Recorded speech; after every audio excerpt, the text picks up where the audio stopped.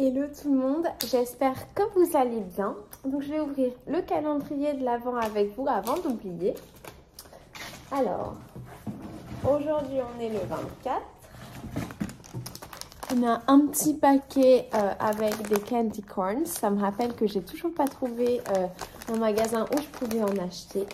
Et le, le symbole, c'est euh, trois cristaux avec une petite. Si euh, c'était un calendrier de l'avant euh, classique, et bah, ce serait notre euh, dernier ou avant-dernier paquet.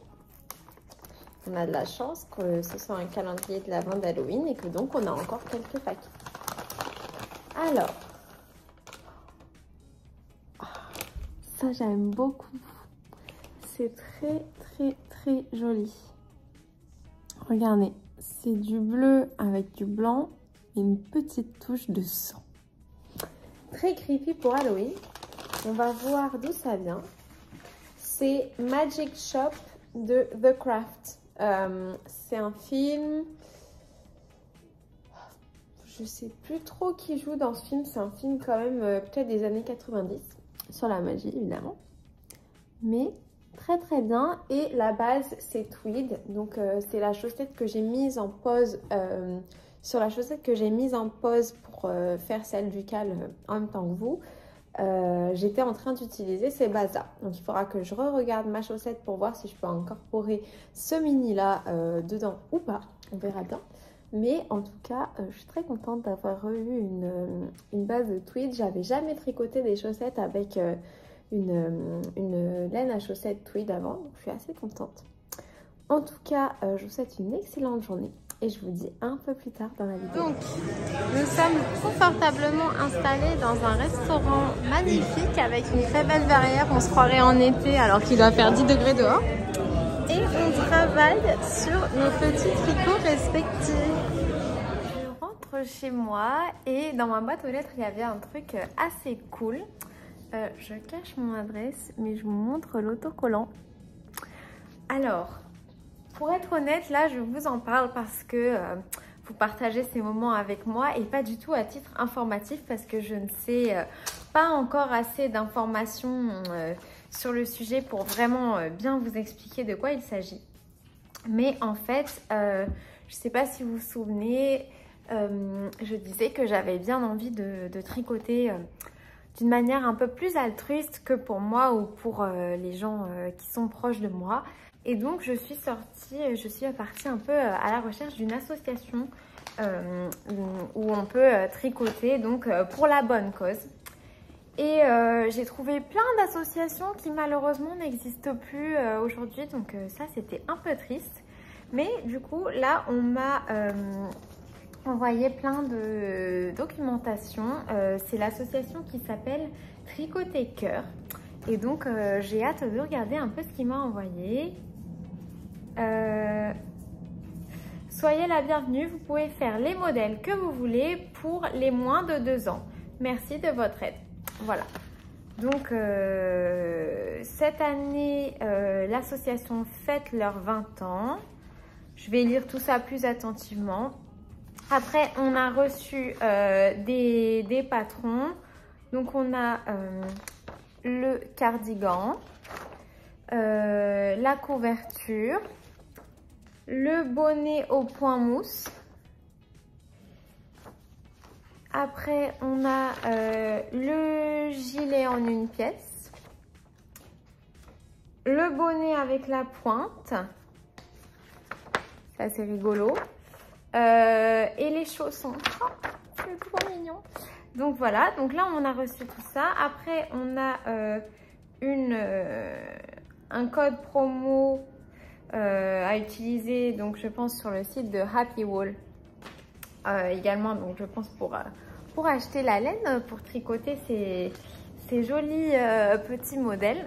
Mais apparemment, donc si j'ai bien compris, on peut tricoter absolument ce qu'on veut tant que c'est pour les enfants de moins de 2 ans et on peut également tricoter des couvertures, etc. Donc c'est plutôt cool. Donc je vais me pencher sur le sujet. Euh, je faut que je me renseigne un peu mieux. Là, je vous en parle vraiment juste parce que je viens de le recevoir dans ma boîte aux lettres. N'hésitez pas à me dire si vous connaissez, euh, si vous avez déjà tricoté euh, pour cette... Euh, ah, mais il y a encore plein de trucs. Il y a la marinière, le pantalon. Si vous avez déjà tricoté pour cette entreprise, enfin pour cette association, n'hésitez pas à me le dire. Sponsorisé par euh, Petit Bateau et Alma Capital. Je, voilà. Par contre, ça dit pas trop... Euh,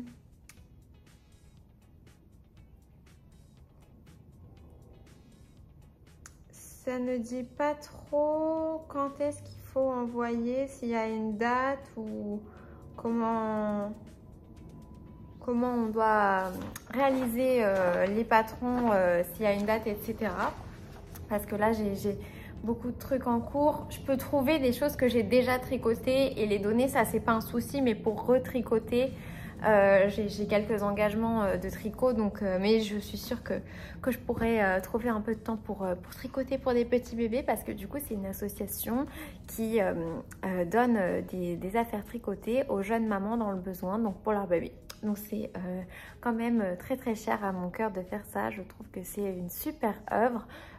c'est pour l'instant celle que j'ai le mieux trouver, mais il y en a sûrement plein d'autres. J'avais un jour fait euh, à travers mon truffaut local, euh, en fait on, y allait, ils nous donnaient de la laine et avec la laine on, pouvait tricoter et euh, à la base il fallait faire un bonnet ou deux avec la quantité qu'ils nous avaient donné mais moi j'avais réussi à faire un peu plus de trucs donc je leur avais tout donné. Je crois que c'était pour, pour les sans-abri mais ça me fait très plaisir de mettre ma passion à profit des autres. Donc voilà, je suis super contente. Euh, je suis très contente d'en parler sur ma chaîne aussi, même si bon pour l'instant, pour euh, faites vos recherches par vous-même parce que j'ai pas des grandes informations à vous donner. Mais euh, surtout si ça vous intéresse, ça me ferait trop plaisir de, de participer à cette opération avec vous. Donc voilà, voilà pour le petit, la petite réception du jour. C'est beaucoup plus, je pense touchant que celle d'hier, même si euh, c'était cool de recevoir euh, les, câbles, etc. hier. Donc voilà. Alors, euh, déjà, je vais vous dire ce que je porte. Je porte le Keeper Sweater. c'est un kit de We Are Knitters. C'est un pull à la base pour hommes. Il est très très long. Je me lève. Vous voyez qu'il m'arrive mi-cuisse. Voilà. et il a des, un espace d'épaule extrêmement long, mais j'ai suivi euh, la taille M euh, du patron. Donc voilà, il est en, alpaga, en baby alpaga, et euh, c'est une douceur incroyable. Et c'est, je pense, le premier pull un peu plus travaillé que j'ai fait avec ce, ce motif, etc. devant. j'ai dû le faire en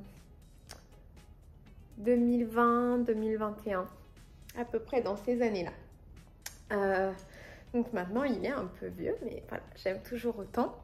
Euh, je vais faire mon rang du jour de la couverture de température. Donc, euh, ça s'est un petit peu réchauffé. donc, je passe du gris chiné d'hier au naturel. Je repasse au naturel. Vous voyez, c'est bien mes couleurs. Euh, je ne vous ai pas laissé beaucoup de temps pour mettre des commentaires aujourd'hui parce que euh, j'ai posté le vlog extrêmement tard parce que euh, il est très long et du coup ça prenait beaucoup de temps à s'exporter et à se charger sur YouTube. Mais c'est pas grave, si vous n'avez pas si vous avez quelque chose à me dire, à me poser comme question, je répondrai aux commentaires du vlog euh, précédent et de ce vlog-là dans le prochain vlog. Euh, vous voyez euh, très bien comment ça fonctionne. Donc, je vais quand même répondre à vos, vos, commentaires. déjà, nous avons donc Sandrine Gonzalez. Coucou, pour répondre à ton message, j'ai pu effectivement crocheter des petits animaux. Ah, super Du coup, je suis retournée ce jour acheter des petites pelotes Ricoromia. euh, et le livre que j'ai acheté est Les grands rêves des minuscules créatures, coccinelles, insectes et papillons, les éditions de Saxe. Vraiment très sympa et très très bien expliqué. Ah bah je ne connais pas euh, ce livre, je vais regarder un peu les, patrons qu'il propose parce que j'aime bien, euh, j'aime bien les petits personnages euh, amigoromi. Et les éditions de Saxe font vraiment que des livres super, hein. vraiment tous les livres qu'on aime bien, emblématiques du tricot en anglais, ils sont traduits et publiés aux éditions de Saxe. Il y a plein de livres super après, euh, déjà en français, qui, sont déjà publiés par, euh, par ces éditions-là. Euh, franchement, bravo à eux. vous êtes trop mignonne avec vos tricots, ça donne envie de vous rejoindre pour papoter.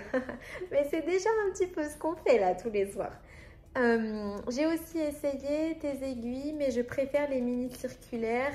Et la pointe et le talon, je les ai tricotés avec les aiguilles circulaires en 80 cm.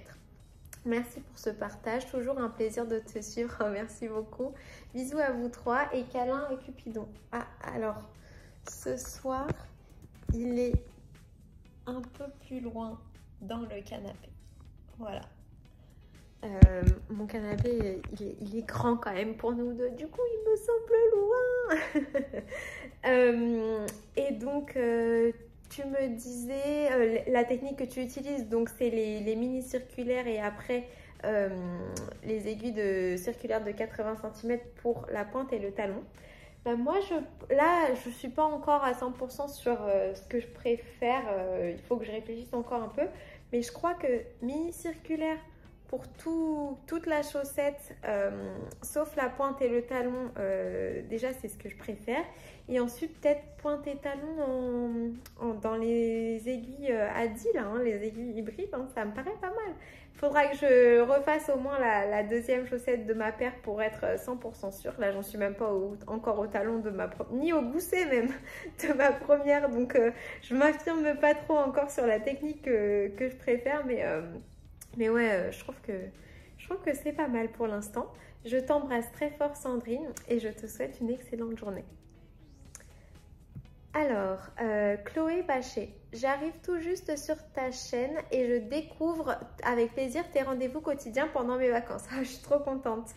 Euh, je commence récemment le crochet et une fois que je maîtriserai un peu, je compte me mettre au tricot. Eh bien, écoute, euh, je suis très contente que tu démarres dans cet univers qui est vraiment absolument génial, plein de magie. et on fait des choses avec nos mains ça nous procure énormément de bonheur et tout. Donc je suis euh, très excitée pour toi que, tu commences à découvrir ça. Euh, depuis combien de temps pratiques-tu le crochet et le tricot? Alors j'ai commencé bien avant euh, le tricot que le crochet. Le tricot, je dirais...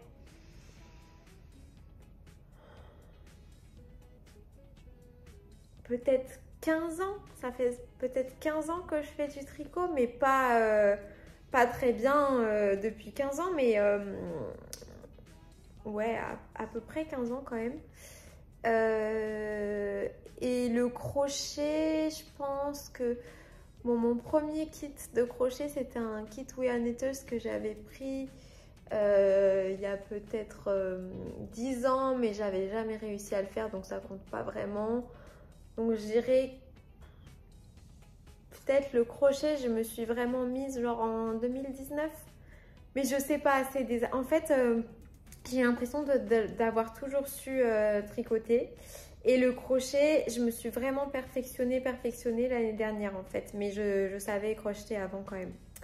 Donc euh, voilà, j'espère que tu prendras beaucoup de bonheur comme moi à faire ces activités. Et je t'envoie des gros bisous Chloé. Virginie Ablin, bonsoir, superbe découverte pour ma part. J'ai commencé à te suivre en juin et tes, et Vlogtober. bah merci, je suis super contente euh, que tu me rejoins, euh, Virginie. J'adore Cupidon. J'ai moi-même un Spitz, ma petite canaille que j'aime de fou. oui, on les aime tellement, hein, nos animaux, euh, vraiment très très très fort. Merci pour toutes ces inspirations. Gros bisous. Je te fais des gros bisous, Virginie, et je te souhaite un excellent tricot ou crochet. Elsa Schmidt. Coucou, merci pour le tuto Ravelry slash photo. Tes explications sont très claires. Je suis super contente, euh, Elsa. J'ai vu que tu avais posté ta photo Donc j'espère que, que toi aussi tu es quand même contente de pouvoir participer. grâce au cal, j'apprivoise les patrons en anglais. Et j'ai pour objectif ensuite de réaliser les Blooming Lavender de Charlotte Stone. Alors, donc grâce auquel tu apprivoises les patrons en anglais, écoute, je suis ravie. J'espère que euh, nos, explications sur, euh, sur Ravelry t'aident. Euh, surtout n'hésite pas si tu as des questions. J'essaye de répondre le plus rapidement possible et je ne suis pas la seule. Sandrine de Tricotine by Sandrine m'a beaucoup beaucoup aidé. elle a répondu avec des super liens et tout sur, sur le forum de papotage de Ravelry, donc surtout n'hésite pas. Euh, et tu me dis donc que tu veux faire les Blooming Lavender de Charlotte Stone. On va aller les voir tout de suite. Elles sont trop belles J'adore, elles sont magnifiques. Oh là là, splendide. Euh, moi en plus je viens de Provence, donc la lavande c'est une plante à laquelle euh, j'associe beaucoup beaucoup de très bons souvenirs. Non mais regardez-moi ça et ce talon c'est incroyable. Elles sont... Oh là là, quelle belle photo en plus. C'est magnifique. Et donc oui, effectivement, je vois qu'elles font partie du livre. Donc, euh, splendide ces chaussettes-là. Je pense que tu vas pouvoir euh, y aller tranquille parce que de toute façon, je suis quasiment certaine que euh, dans, le, livre en anglais, ça doit être un, tableau, enfin, comment on appelle ça? Un chart un tableau avec des, des, carrés pour les couleurs. Enfin, tu vois très bien, un graphique quoi pour les couleurs. Donc il n'y a pas besoin plus de savoir euh, l'anglais qu'une autre langue. Euh, et en plus je vois tu nous dis que tu as reçu son livre en cadeau d'anniversaire. Donc comme il est sorti euh, plutôt récemment ah ouais mais tu nous dis que c'est que tu l'as en anglais. Donc je sais pas si c'était récemment ton anniversaire mais au cas où je te souhaite un excellent anniversaire euh, et du coup, bah, quelle chance hein, de l'avoir. Euh, je t'encourage fortement à faire tous les modèles et à nous poster des petites photos pour qu'on puisse les voir parce qu'ils sont tous magnifiques et je suis sûre que euh, tu les rendras encore plus beaux avec ton, ton, choix de laine et ton très beau tricot. merci beaucoup pour les gentilles choses que tu dis sur mon vlog et je te dis à bientôt. Alors, pourquoi la lumière? Ok. Euh, Tricotine by Sandrine. Coucou Éléonore. Comment tu n'as pas acheté les Adi Trio Sock en rose? Quoi Mais ça existe? Non Si j'avais su, euh, je les pris. Tu me dis, mais je rêve, c'est le monde à l'envers. Des gros bisous. Euh, si quelqu'un allait à Trioso qui avait changé parce que vous n'aimez pas le rose, non je rigole. Euh, bah écoute, euh, non je savais pas que ça existait, je crois pas qu'ils les avaient à Little Weasel quand j'y suis allée. et j'étais pressée, il fallait que j'achète des aiguilles parce que sinon j'avais pas assez pour que maman et Chloé elles fassent les, les, chaussettes en même temps que moi. ah mais je suis déçue, mais bon c'est pas grave parce que là j'ai acheté des 2,25. Donc, je pourrais euh, potentiellement racheter les Additive Trio Sock en 2,5 euh, en rose. en tout cas, merci beaucoup. Sandrine, tu m'as extrêmement bien cerné. tu as bien compris la personne que je suis. Euh, mais oui, merci beaucoup de, de, me prévenir. Comme ça, c'est sûr que si je rachète une paire, je l'achèterai en rose. Je te fais des gros bisous. J'étais en train de regarder... comment ça s'appelle? Un soupçon de magie. Et j'en suis à la saison 4, épisode 9. Écoutez ce qu'ils disent.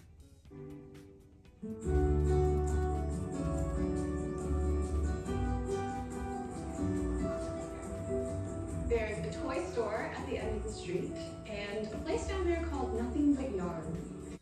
Donc, Nothing But Yarn. Apparemment, dans ce village imaginaire, il y a un magasin qui s'appelle Rien à part de la laine. C'est incroyable.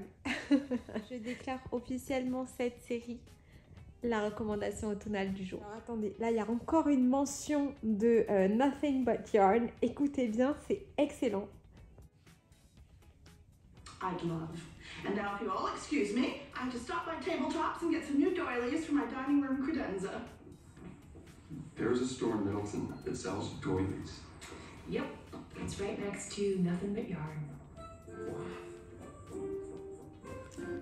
donc, en gros, la, la, la mère, pas, pas cette dame-là, ni euh, la dame avec le monsieur, elle dit Bon, bah, euh, je dois y aller, il faut que j'aille euh, au magasin euh, couverture de table pour acheter des napperons. Et le gars, il lui dit Mais attends, il y a un magasin qui, qui, qui vend des napperons. Et la fille lui dit Mais oui, euh, c'est juste à côté de rien que de la laine. Non mais incroyable cette ville imaginaire, il faut que je déménage là-bas. De crocheter le petit os de mon, de mon petit personnage. Je voulais voir si j'en ai essayé. Ça t'intéresse? Oh là là, ça t'intéresse pas du tout, tiens. Ça pourrait être ton petit doudou. Titi. Titi. Titi. Titi. Titi.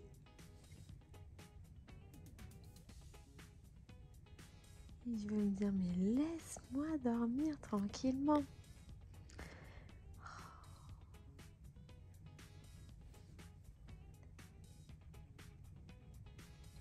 Non, vraiment, euh, on va la garder comme amigo parce que ça lui plaît pas du tout.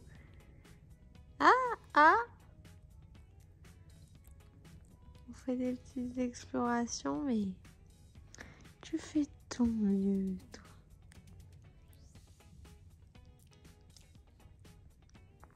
Non. Ça a pris un peu de temps. Et regardez, il aime bien en fait. Je vais devoir refaire un autre. Tu l'aimes bien? Tu l'aimes bien?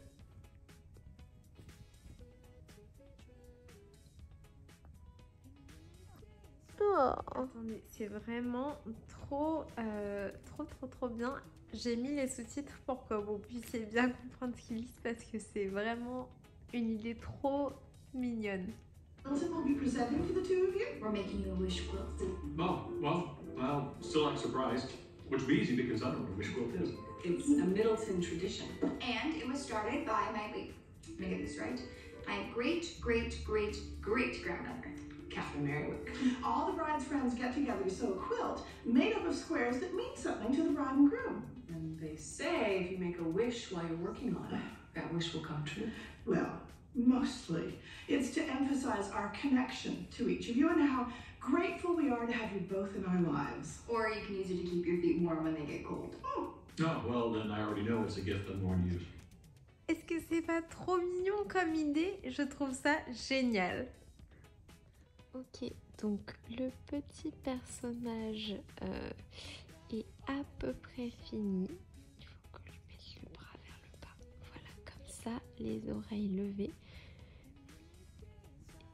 Voilà, il est un peu sur le côté comme ça, normalement sur la photo. Euh, et il a le petit os comme ça. Donc il faut que j'assemble tout. Pour l'instant, j'ai que fixé euh, la partie du, du gui.